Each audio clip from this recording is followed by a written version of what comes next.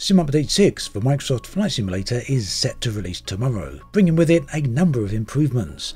Meanwhile, Seafront Simulations have released a mod that adds a bunch of sea vessels into the game, whilst a new jet is on the way from FlightFX, so let's take a look. This is the Cirrus SF50 Vision Jet, and it's seriously impressive. Making its maiden flight in 2008, this is the first certified single-engine civilian jet. As such, it's very unique among aircraft. Third-party developers FlightFX then have announced that they are bringing this plane to Microsoft Flight Simulator, and on screen you can see the early work of this plane's model. In terms of avionics, the Vision Jet will be using some of the work from the freeware mod of the Garmin G3000 that Working Title are developing in partnership with Microsoft.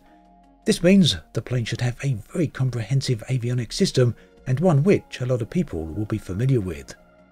With a maximum cruise speed of 300 knots, the Vision Jet is likely going to be very interesting to fly when it releases for the sim. Currently, however, there's no release date or price on this plane, but it's certainly one to keep an eye on.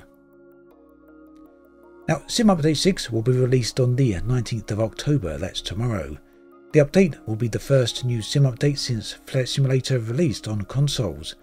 There's no patch notes just yet, but they should be available early tomorrow. The update will include a number of fixes as well as some improvements to the sim. Here's a few parts that we already know about. The graphic settings on PC will get a new option that will allow the level of detail for terrain to be extended all the way up to a new limit of 400 which goes beyond the current limit of 200. As some people have pointed out previously, this can currently be modded through changing one of the sim's config files. However, Asobo seem to have made some changes to the sim which go beyond what is possible with the custom config file changes.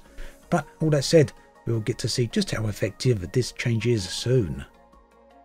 Night lighting meanwhile has been improved with Sim Update 6, although the further improvements for that are due with Sim Update 7, and the same is true for turboprop engine logic, some of that coming in Sim Update 6, the rest further down the line.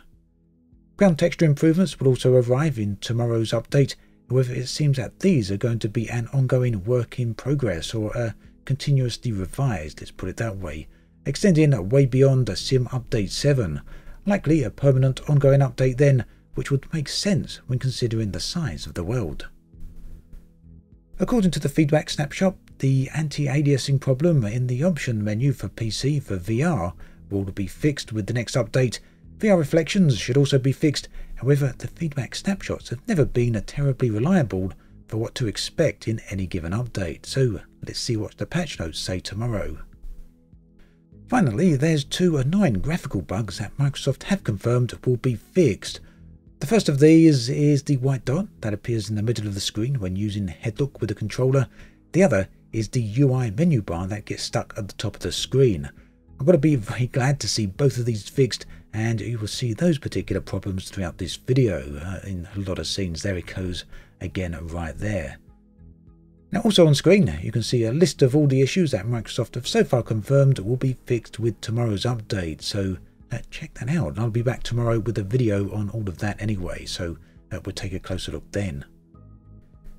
Moving on, Seafront Simulations are a third-party developer with a specialisation in adding boats, yachts and other sea vessels into Microsoft Flight Simulator. The latest edition brings 18,000 vessels to the southeast of England, incidentally the very region I live in.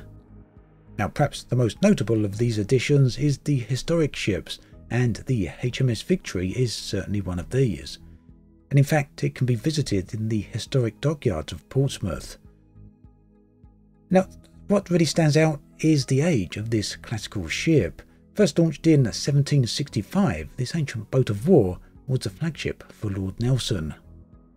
The update costs around £11 and is available from the Orbx website. This means, of course, that you'll need Orbx Central in order to install these. If you are interested in ships, Seafront simulations also have a complete improvement to global shipping lanes. This adds 50,000 routes worldwide for ships. Both of these you can find linked in the video description. Now personally I'm very curious about what uh, seafront simulations have to offer so it's very likely I'll be checking this all out in a video in the future so if you're unsure yourself whether to make the purchase do hold on for that video and I'll take a look at this and let you know what I think about it. That then brings us to the end of this video. As always, thanks for watching, and I'll catch you guys and girls next time.